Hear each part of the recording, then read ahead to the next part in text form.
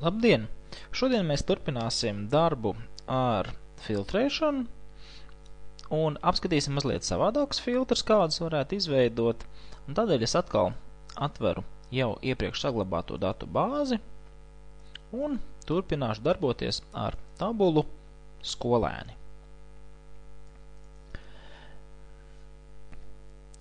Ja ir iepriekš veidots kāds filtrs, un šis filtrs ir ticis ieslēgts, tad arī šis te filtrs var tikt demonstrēts pašā sākumā.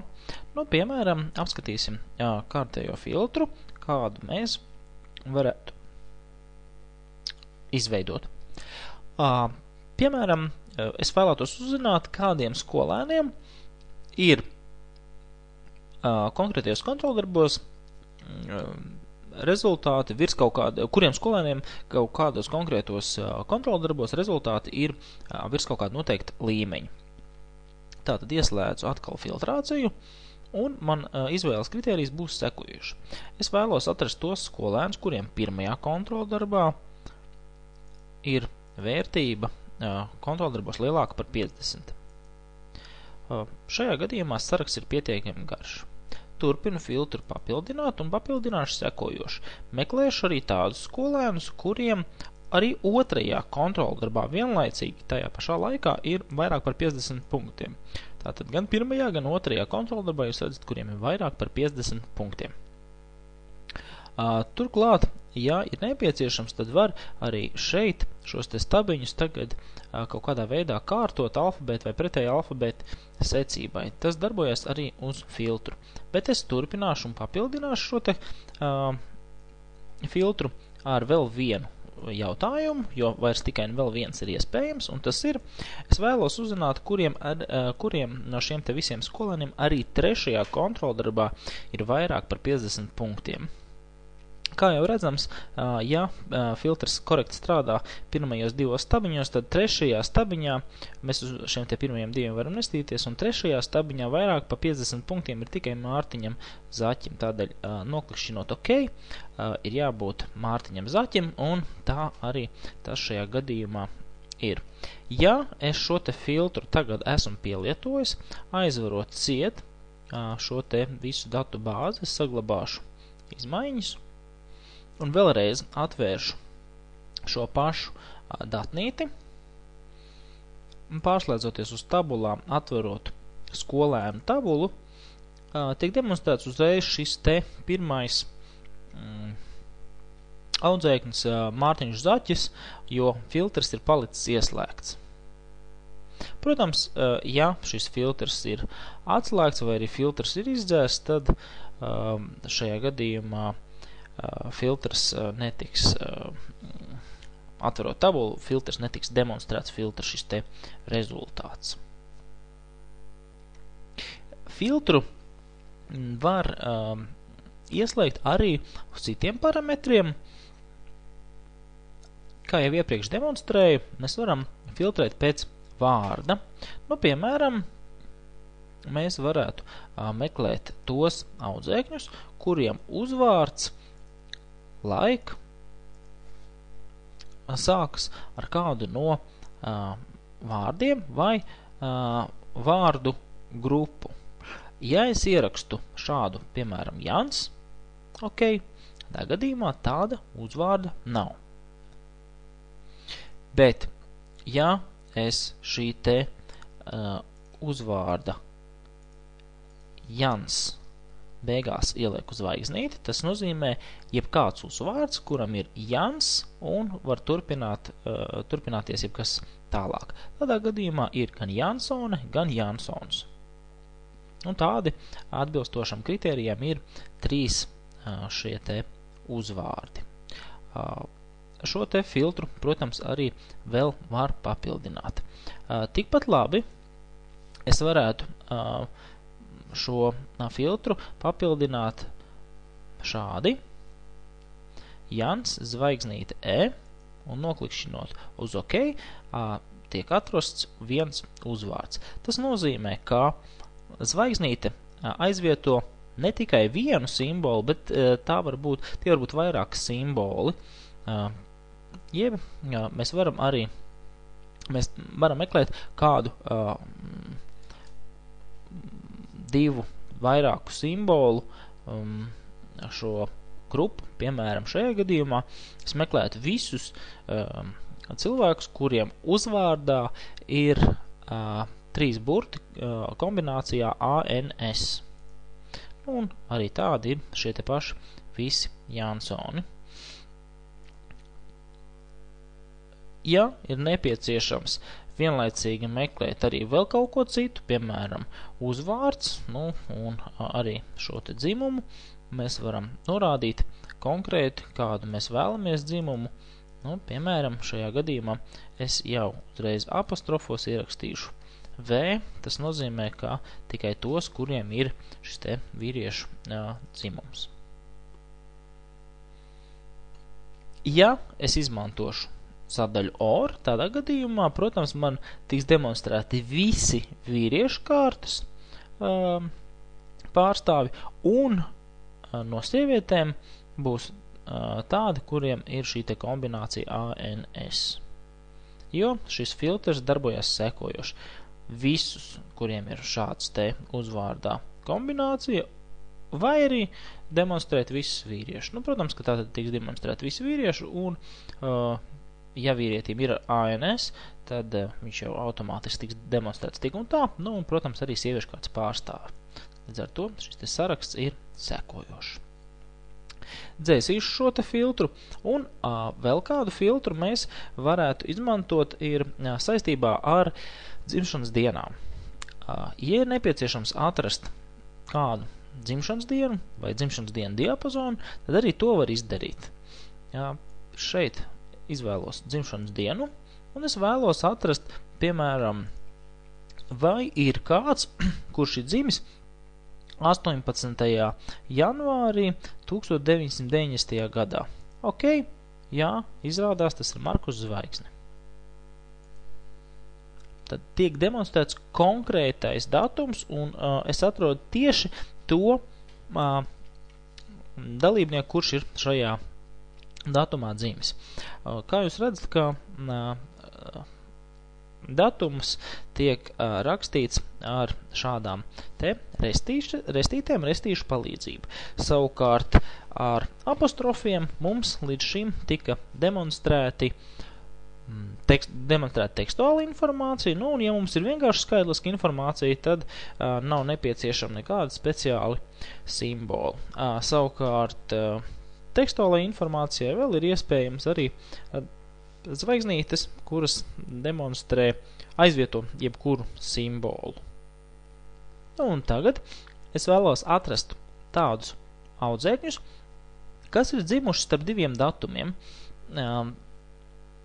Pieņemsim, ka es vēlos atrast visus audzēkņus, kas ir dzimuši 90. gada um, februārī. Līdz ar to ir vairāk iespējamie varianti, kā meklēt.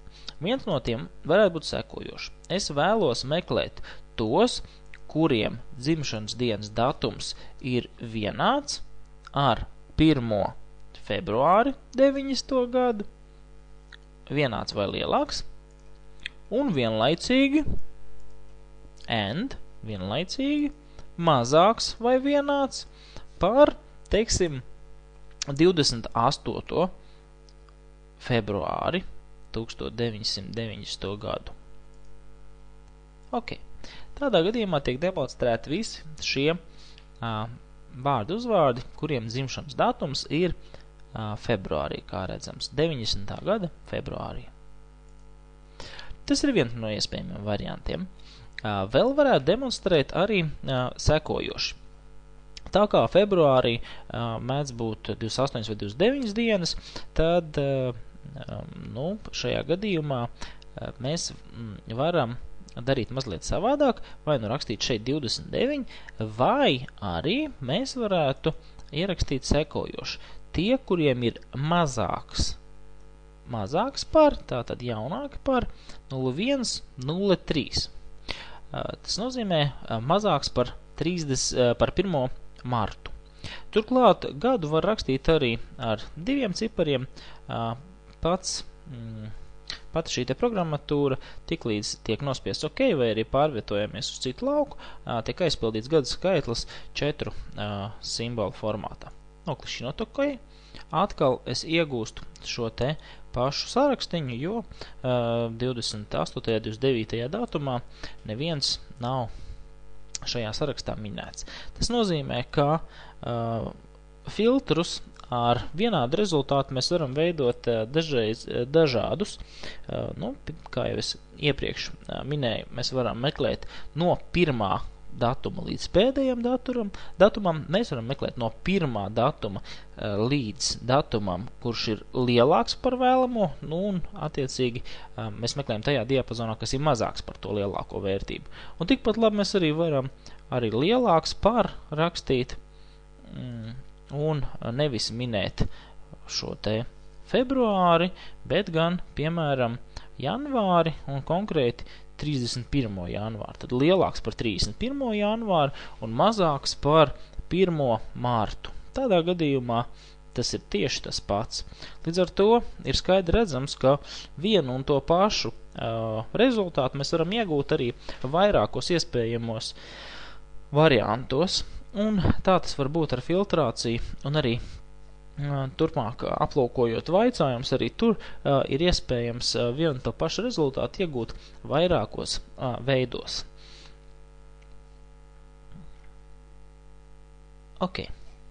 Ja ir nepieciešams, tad šo filtru var atstāt. Ja tas nav nepieciešams, tad, protams, ka filtru var izdzēst. Es sakārtošu vēlreiz ID uh, alfabēta secībā, jo es uh, vienu reizi jau biju mainījis šo kārtību un es vēlos vēlreiz būt droši pārliecināties par to, ka šī kārtība ir saglabāta uh, pilnīgi korekti un pilnīgi pareizi. Uh, filtrus var, protams, arī izmantot mm, ne tikai uh, meklējot uh, vārdus vai simbolus, kas tos satur, bet arī tādus, kas nesatur neko. Nu, piemēram, mēs varam meklēt vārdus, kas nevis like, bet not like, tad nesatur sevi, nu, piemēram, simbolu A. Tad tiek atrasti tādi, tiek demonstrēti tādi šie te vārdi, kuriem šajā vārdā nav burts A. Ir atsevišķi šeit vārdi redzami, kas sāks ar burtu A, un varētu būt arī, kas beidzas ar A, bet šajā gadījumā tāda te nav. Uh, protams, ka uh, no vienas puses mēs varam uzskatīt, ka tā ir kļūda, bet mm, tiek izslēgts, uh, izslēgti tie, um, kuriem A ir pirmais simbols. Un uh, šajā gadījumā mums uh, būtu nepieciešams vēl papildināt, lai vārds nebūtu vienāds ar šo te A sākumā un pēc tam kaut kādu turpinošos tekstu, un vienlaicīgi arī, lai vārds nebūtu uh, vienāds ar uh, šo te A uh, simbolu beigās. Tad, lūk, uh, tikai šāda konkrēta kombinācija mums atslēgs uh, visus uh, vārdus, kuriem ir šis te A simbols. Tad rezultātā tagad vairs uh, nevajadzētu nostrādāt, bet, protams, ka tas, uh, ja ir uh, lielais burts ierakstīts, tad tas, diemžēl, nostrādā, un konkrēti šajā gadījumā mazo a nomainot uz lielo a, tiek atslēgti tie uh, vārdi, kuriem ir A kā pirmais burts. Līdz ar to šeit mēs jau vairāk saskaramies ar dažādām niansēm, kas varbūt informātikā, kas varbūt nedaudz saistās ar programmēšanu, kad mums jau ir jādomā algoritms, kādā veidā korekti šos te datus atlasīt, un tieši tādēļ arī datu bāzu veidošanas jau pašā sākumā ir jābūt skaidrībai par to, kādi dati tiks uh, vākti, kā šie dati tiks apstrādāti, kāda šī apstrāde ir nepieciešama, jo pretējā gadījumā tas viss vēlāk var sarežģīt datu bāzes veidošanu, vai arī datu bāze būs pilnībā jāpārtais, lai tikai un vienīgi atrisinātu kaut kādas nelielas nianses. Ok, un izslēgšu šo te, izdzēsīšu šo te filtru. Uh, kā jau iepriekš bija redzams, uh, ir arī tādas vērtības kā not uh, like, bet ir, ir arī uh, null un not null. Es izvēlēšos pirmo kontrolu darbu, pirmais kontrolu darbs, un uh, condition izvēlēšos not null. Tad pirmajam kontrolu darbam un pārbauda būs not null. Ok.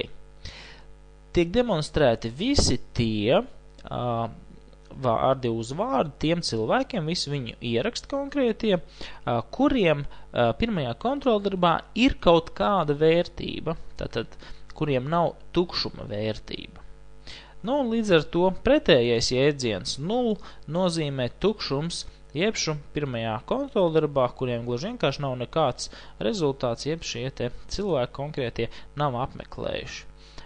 Arī šādā veidā var atrast ātri tos, no visa šī saraksta nofiltrēt un atrast tos cilvēkus, kuriem pirmajā, otrajā, trešajā kontroldarbā vai nu, kādā citā kombinācijā kuri nav apmeklējuši šos, šos te kontroldarbus. Protams, ka jāatcerās a, sekojoša a, problēma, ka šī filtrācija darbojas tikai un vienīgi vienlaicīgi uz trījiem laukiem, jo, nu, vai um, trīs vaicājumi par vienu lauku, katrā gadījumā trīs dažādas iespējas, ko mēs varam vienlaicīgi veikt. Diemžēl mēs nevarēsim pārbaudīt, meklēt, piemēram, par visiem pieciem kontroldarbiem vai par citām kādām kombinācijām, par trīs kontroldarbiem un vēl dzīmumu vai vārdiem, uzvārdiem. Katrā gadījumā tikai un vienīgi ar filtrācijas palīdzību mēs varam meklēt trīs dažādas šos te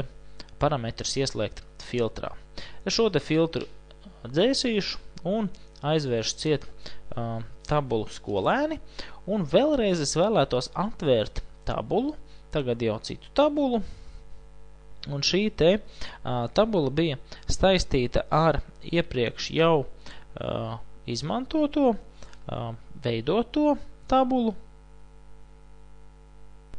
un šī te tabula ir īpašnieks, kur mēs mēģinājām imitēt uh, situāciju, kāda varētu būt, uh, piemēram, portālā draugiem LV, un uh, šeit uh, ir tabuliņa, kur ir identifikācijas numurs, uh, piemēram, 100 101, 102, 103 konkrētie vārdi cilvēkiem, piemēram, Jānis, Jāņa ēpasts un Jāņa parola. Nu, un attiecīgi Anna, Pēter, um, šie ēpasti un parolas. Uh, Savukārt galerijas šiem cilvēkiem vai nu ir, vai nu nav. Attiecīgi ķeks nozīmē, ka galerija šim cilvēkam ir, un ja šī ķekša nav, tādā gadījumā galerija šim konkrētajam lietotājam nav. Uh, šeit nav nekādas vērtības, ne A, B, C, uh, 1, 2 un tā tālāk. Uh, tomēr informātikā un arī angļu valodā uh, ir uh, jēdziens true false, tātad uh, patiesība vai maldi, un uh, ar tiem arī mēs varam uzdot šo te jautājumu. Tad filtrs šeit varētu būt sekojošs. Es vēlos uzzināt, kuriem uh, no šī te sarakstā minētajiem uh, lietotājiem ir galerija. Tas nozīmē, ka man ir jāfiltrē galerija, un šis te filtrs ir vienāds ar, nu, piemēram, true. Tas nozīmē, ka būs ieslēgts šis te ķeksis, būs līdz ar to nospiežot OK, filtrs nostrādā un tiek demonstrēts Jānis un Pēters, kuriem abiem mm, šīs te galerijas ir izveidotas. Tad vēlreiz atveru šo te filtru, nu un attiecīgi otrs variants, ja es vēlētos atrast, kuriem uh, nav šis te šī galerija, tad būtu jāraksta false. Ok. Nu, un tāda mums šajā gadījumā ir Anna.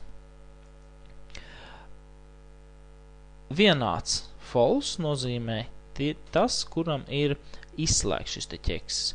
Savukārt nevienāds false nozīmē pretējo tā, tad nevienāds ar nepatiesību, jebšu tā ir patiesība.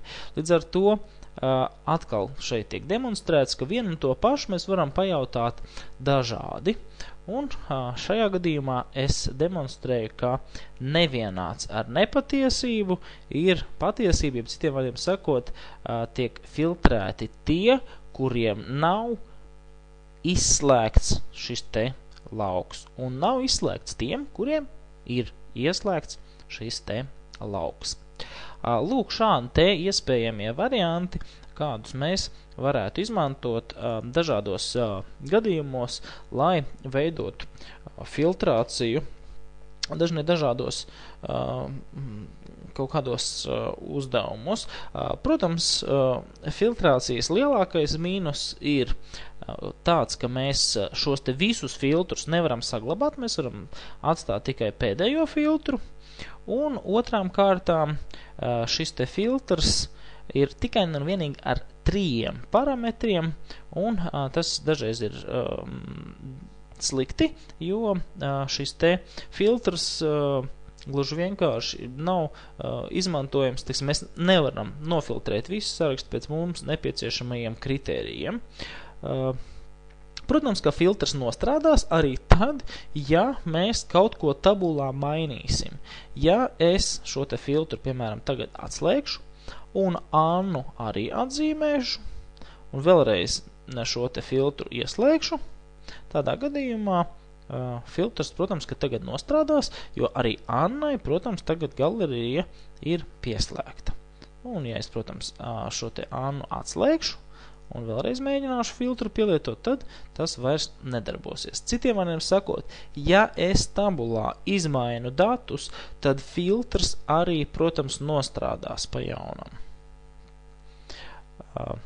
Bet turpmākajās nodarbībās mēs aplūkosim mazliet labāku priekšnosacījumu par filtrēšanu, un to sauc par vaicājumiem, jeb šo sadaļa queries. Paldies!